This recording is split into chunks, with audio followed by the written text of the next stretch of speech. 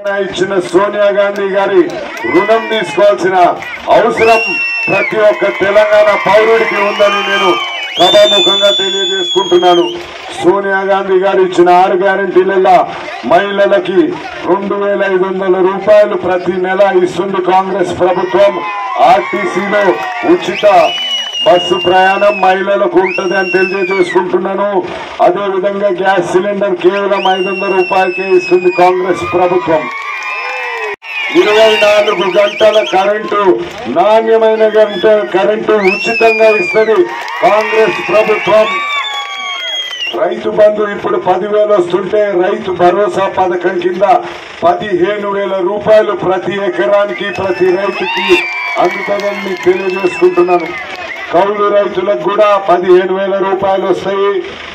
రైతు కూలీలకి పన్నెండు వేల రూపాయలు వస్తాయని మీకు తెలియజేసుకుంటున్నాను.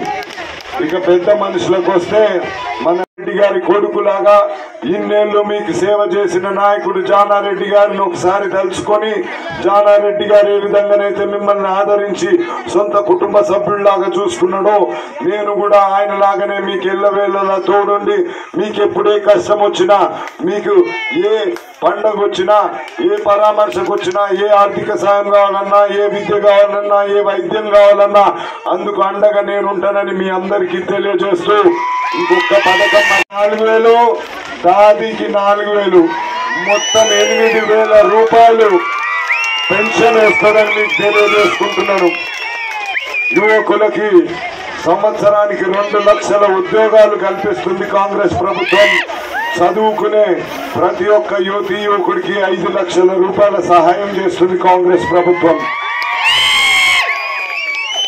మిత్రులారా మీ అందరికీ తెలుసు మన తండాలో గుడిసెలన్న జానారెడ్డి గారు ఏ తండాలో కూడా గుడిసె అన్నది లేకుండా ఏ విధంగానైతే ఇల్లు కట్టించిండో కాంగ్రెస్ పార్టీ అధికారంలోకి వస్తే ఐదు లక్షల రూపాయలు ప్రతి ఒక్కరికి ఇంకొక లక్షనేమో ఇంటి స్థలం కొట్టేందుకు కట్టుకునేందుకు మొత్తం ఆరు లక్షల రూపాయలు ప్రతి ఒక్కరికి ఇల్లు కట్టుకునేందుకు అందిస్తానని కాంగ్రెస్ పార్టీ తరఫున నేను మీకు హామీ ఇస్తున్నాను.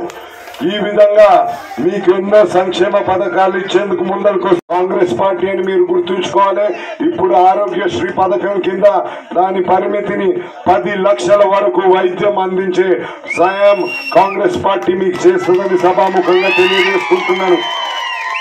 జానారెడ్డి గారిని ఆదరించిన విధంగానే ఈ ఎన్నికల్లో నన్ను ఆదరిస్తారన్న నమ్మకంతో మన బీవీపీ తండా నుంచి నేను ఇక సెలవు తీసుకుంటున్నాను.